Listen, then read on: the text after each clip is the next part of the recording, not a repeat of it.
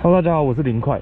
很多人都有在我的影片下方留言说，想要知道一些挡车的一些基础的操作，还是等等之类的。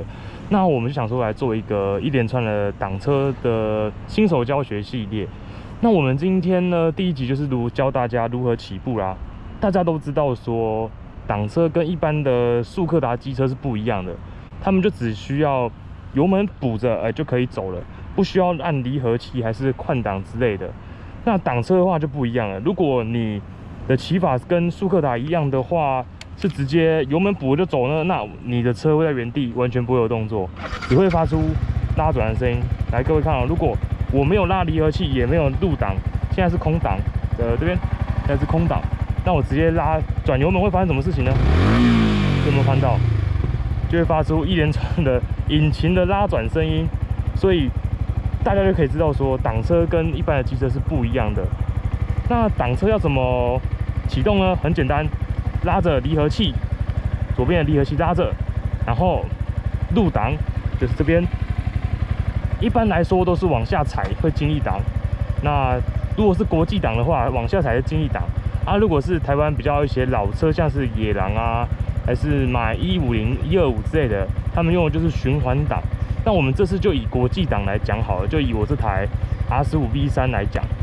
那国际档的话就是这样往下踩，就是路易档嘛。然后呢，这时候不是补油门啊，这时候补油门也不会动，车子也不会动，要离合器慢慢的放，慢慢的放。然后放到一定程度之后呢，你会发现说，哎，车子慢慢在动了。各位看，我右手其实是没有补油门的哦。然后但是车怎么在动了？车子在动了，叫做离合器的结合点。然后结合之后呢？这时候啊，你就可以慢慢的补油门，然后车子动起来之后呢，左边的离合器就可以放掉了，这样车子就可以很顺利的动起来了。这边来特写一下离合器拉杆这边的画面给大家看哦。起步的时候一定要先拉离合器，然后左脚入档，这时候慢慢的放开你的离合器，放到一定程度啊，你会发现车子慢慢的在动起来了。那这个时候呢，就是代表说你离合器已经结合了。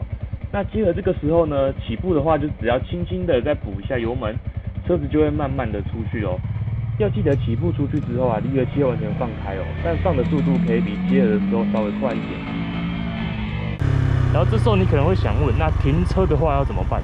停车的话很简单，如果你直接没有按任何东西停车的话，那会怎么样？车子会直接熄火。那要怎么解决这个问题呢？很简单，我再发动一次给大家看，记得哦。如果有入档位的话，都要拉离合器才有办法去做那个发车的动作，不然你看现在是一档嘛，但是我没有按离合器啊，我怎么按它都不会理我，所以要拉离合器，拉下去发动了。那我再给大家看一次，然后现在动起来的话，我想要停车的话呢，该怎么办？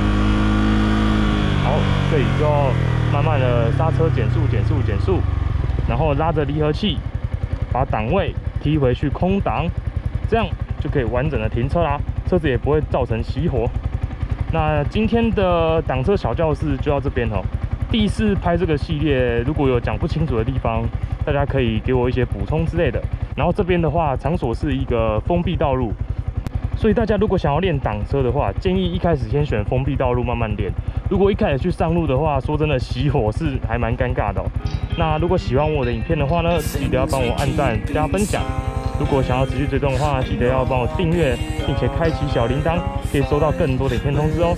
各位，我是林快，我们下次影片见。Every day told me a promise That I would make it one day as an artist. Music's the only thing keeping me honest. I know that I want it, I'm hoping I got it. Addicted to all this remotely melodic. See how some people become alcoholics. Addiction is real but mine isn't as toxic. Although sometimes I feel a little psychotic I know that I got it in me. Can't stop what's in me to the top. Believe me, I'm not resisting, it's all beginning